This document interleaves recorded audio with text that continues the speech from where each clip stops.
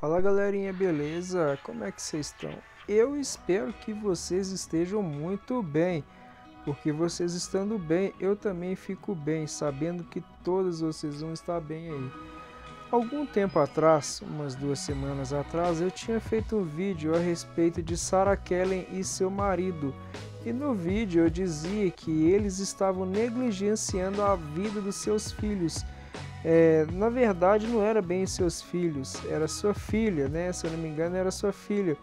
Porque eu fiquei indignado pelo simples fato de que um canal grande não ter dinheiro suficiente para estar tá cuidando da filha, não estar tá cuidando da saúde dos filhos. Eu pensei o seguinte: como que pode um canal que tem mais de um milhão de inscritos ainda tentar depender do SUS. Meu Deus do céu, como que um canal grande igual da Sarah Kelly não tem dinheiro para pagar um hospital particular para estar tá melhorando a condição de vida de seus filhos? Foi essa a minha indignação. Em momento algum eu disse que eu tinha algo contra o casal, contra a Sarah Kelly, contra o canal, muito pelo contrário, eu até admiro de algumas coisas que eles fazem lá, porque são pessoas realmente batalhadoras. Porém, o que a gente não aguenta ver mais na internet é injustiça.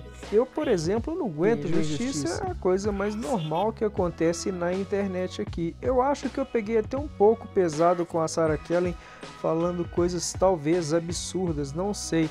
E eu não sei o que, que passou na cabeça dela, não sei se ela assistiu meu vídeo ou não.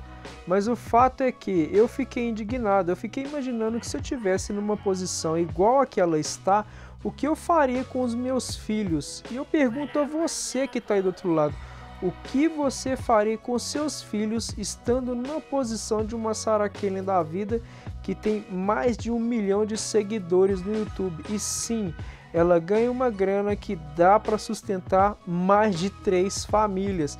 Eu não estou falando, não estou querendo dizer aqui que ela tem que sustentar três ou mais famílias. O que eu estou querendo dizer é que se ela não consegue sustentar os filhos da maneira correta, se ela não consegue dar uma vida digna de saúde para os seus filhos, por que, que ela tem um canal de sucesso no YouTube? É esse o meu questionamento.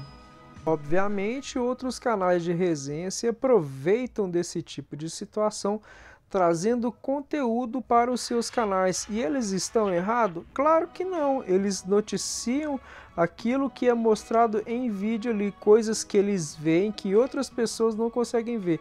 É lógico que tem aquela galera que é meio pau no cu que fica inventando um monte de coisa sem saber o que fala e tentando colocar na cabeça dos seus inscritos um monte de mentira e um monte de coisas inventado da cabeça deles. É, conhecemos bem a gordinha linda, ela é mestre em fazer isso, ela tem mestrado em falar mentiras na internet.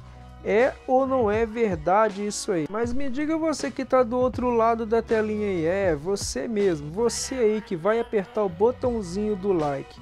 O que você faria? Você no lugar de Sarah Kellen daria uma condição melhor de vida para os seus filhos?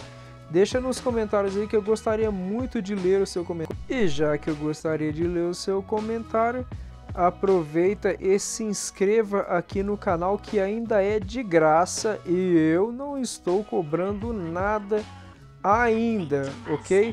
Galerinha, eu vou ficando por aqui. Muito obrigado a todo mundo que assistiu. Um abraço do Léo, Insane Sagaz. Valeu, falou e até mais.